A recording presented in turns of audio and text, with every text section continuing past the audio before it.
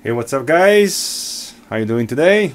Sorry about the noise in the background. The humidifier running. I'm in the basement, man cave. I gotta do a video. Then I home to a special friend, Yankey 4. Then he sent me an awesome uh, uh, gift that he won in a contest, I do believe. I apologize in advance. I don't remember the name of the guy that makes them. So, Yankey, if you wanna put a above my video the link, the, the, the address of the guy, um, you can do me a favor thank you very much. Okay i don't have any ammo for me for Showa works right now. It's actually in the middle of uh, resetting everything. I gotta find them. Uh, which is where the most of them are the magazine. Anyhow uh, i apologize also for the mess in the back because i'm doing a little bit of my project with my masters. A little custom here and there and i got a bunch of stuff like i'm supposed to do. Uh, but anyway what it is it's a magazine loader as you can see with engraving and everything very cool.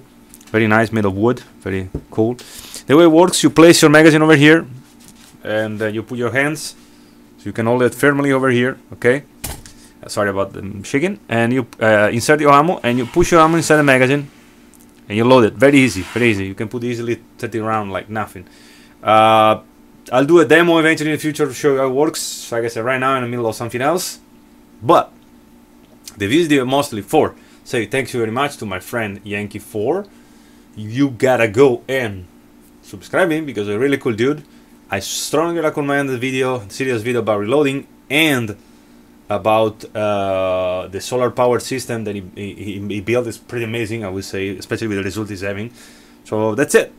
Thank you very much for watching, and bye bye.